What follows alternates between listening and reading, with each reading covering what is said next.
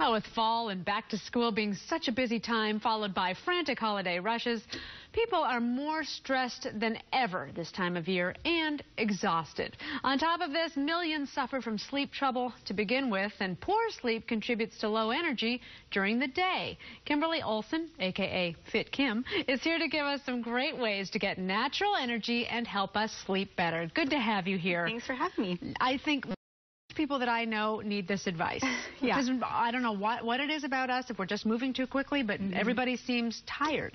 Oh, yeah, absolutely. And it's a vicious cycle, like you just mentioned. So, what I want to show viewers is that there are foods, there are natural products that you can actually use to help you boost your energy levels and fight off that stress during the holiday seasons and actually get a good night's sleep. Good. Okay, bring it.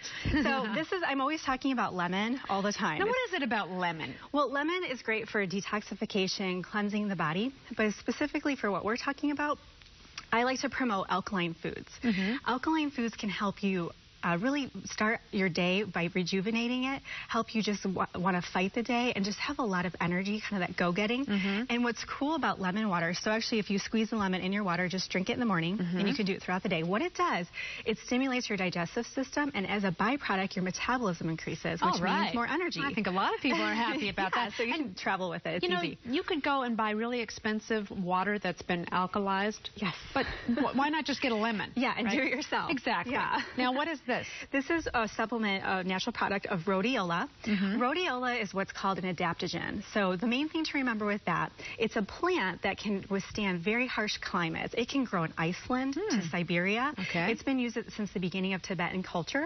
And why I like to recommend this is because when you consume something that's an adaptogen, it helps us adapt to stress. Really? Yeah. So when we get chronic stress, I mean, I know we just we can't even think, and we have that brain fog. And this can arm you so you can bake that cake or do that holiday shopping. Oh my gosh, how much can you take? Just uh, one? Uh, do you just need one a day? Yeah, you just follow the serving size. Rhodiola. Rhodiola. Okay. I, am obsessed with it. I love it. Good. No stress there. Uh, now, food is important. It's very important. Yes. Daily nutrition is going to help people have sustained energy throughout the day. So when it's the holiday season, I find with my clients, they have a hard time doing really well with following an eating plan mm -hmm. because with all these goodies, sweets. sweets, and good things. I mean, we want to enjoy ourselves. Uh -huh. But what I recommend is supplementing with a daily multivitamin. Okay. So a way to kind of drink your nutrition. So I like liquid because it can be absorbed easier than a, a, cap, a capsule. Mm -hmm. What you want to look for is organic and one that has vitamins, minerals, and antioxidants from a plant-based source. And you just do one ounce a day. One ounce a day. Yes. What about this? Can I just chew on that? Yes, what is you that? can. It's kale. Oh, I like kale. Yeah, so it's a purple kind of kale, but right. you could chew on that if you, you wanted to. You just have to know how to prepare it, that's Yes, all. You do. Now, bananas are a wonder food? Yes, they are. And like you said, something simple like lemon, something simple as banana. This is really easy for anyone to do. Bananas are known for their high potassium content, but what I find they can be helpful for is actually falling asleep. They actually are high in vitamin B6, which helps your body produce melatonin. Mm -hmm. We know melatonin is a sleep-inducing hormone. Yes. Also, it's high in potassium and magnesium, which actually relax the muscles. So it kind of helps you turn your brain off. So we night. think of that as a morning food, but have one before bed. Yes. and finally, what is that? This is a supplement version to help your body fall asleep naturally. Sometimes people don't want to do medication and things like that. So there are natural supplements out there.